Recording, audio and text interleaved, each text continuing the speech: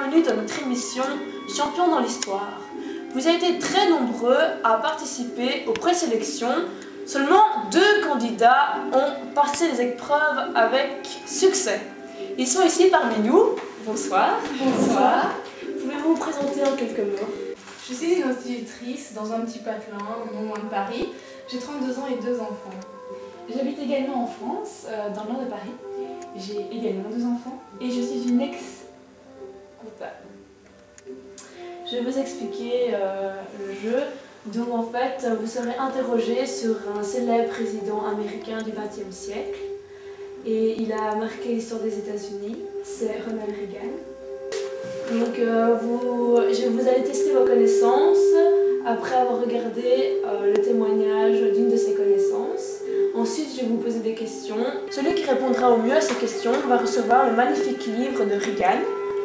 Vous voyez qu'il est en très très bon état écrit par l'auteur Pierre Mélandry, qui est un excellent auteur, et par édition Lafon. Regardez, il a de très très très belles illustrations. Donc je peux vraiment vous dire que le jeu en vaut la chandelle.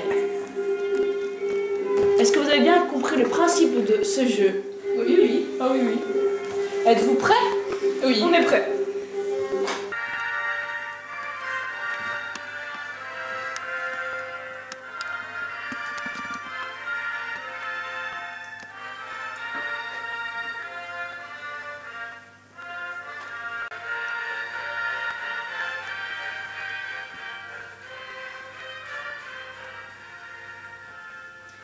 Je vais vous parler de Ronald Reagan, euh, que j'ai eu le plaisir de rencontrer à Hollywood en 1940.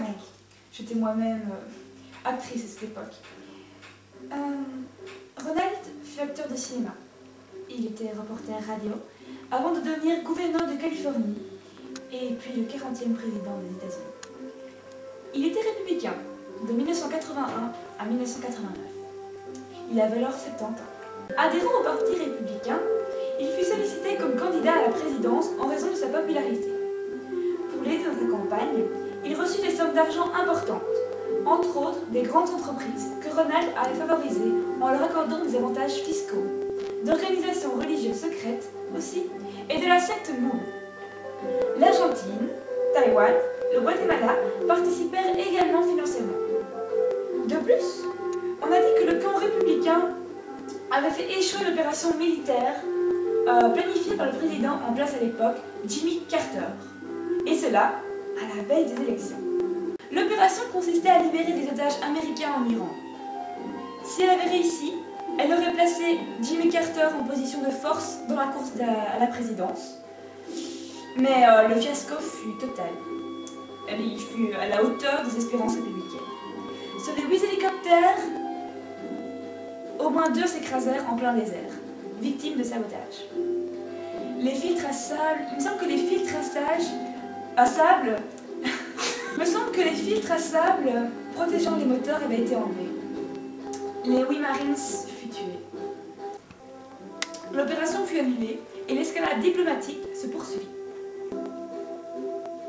Il fallut alors saboter les négociations que menait la Maison Blanche avec la République islamique. Ce à quoi s'employa une équipe de négociateurs républicains qui convainquit les responsables iraniens de ne pas relâcher des otages avant l'élection présidentielle, en échange de promesses de fourniture de matériel militaire et civil une fois Ronald Reagan installé à la Maison Blanche. Quelques minutes après que Ronald eut prêté serment, les otages furent libérés et rapatriés aux États-Unis. Il faut une solide équipe autour de soi pour accéder à la présidence des États-Unis. Le témoignage de Madame McCain m'amène à vous poser deux questions. La première, quelle est la durée d'un mandat présidentiel? Peut-il être renouvelé? Si oui, combien de fois? Oui, le mandat il dure 4 ans et il peut être renouvelé une fois.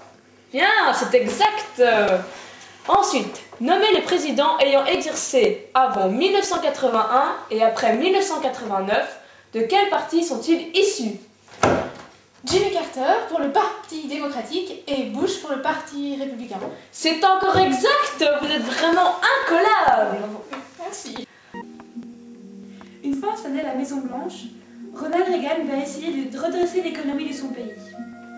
Sa politique intérieure se caractérisa par une politique sévère pour limiter l'inflation, des restrictions budgétaires, sauf en matière de défense et une diminution considérable de la fiscalité destinée, destinée à relancer les investissements. Il établit un, plan de lutte contre la drogue et de mise au travail des chômeurs. On peut dire que les années Reagan furent marquées par le creusement des inégalités sociales et le problème non résolu du